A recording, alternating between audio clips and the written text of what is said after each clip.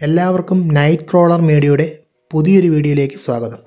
ഇന്ന് ഞങ്ങൾ പരിചയപ്പെടുത്താൻ ആഗ്രഹിക്കുന്നത് രണ്ടായിരത്തി പന്ത്രണ്ടിൽ പുറത്തിറങ്ങിയ ദ ബോഡി എന്ന സ്പാനിഷ് മൂവിയാണ് ഏകദേശം രണ്ട് മണിക്കൂർ ദൈർഘ്യമുള്ള ഈ ചിത്രം ത്രില്ലർ മിസ്റ്ററി വിഭാഗത്തിൽപ്പെടുന്നു ഓറിയോൾ പോൾ എന്ന സംവിധായകന്റെ മികവ് ഈ സിനിമയിലുടനീളം കാണാൻ കഴിയുന്നുണ്ട്.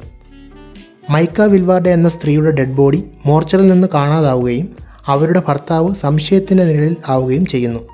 തുടർന്നുള്ള അന്വേഷണങ്ങളുമാണ് ഈ ചിത്രത്തിൽ കാണിക്കുന്നത്.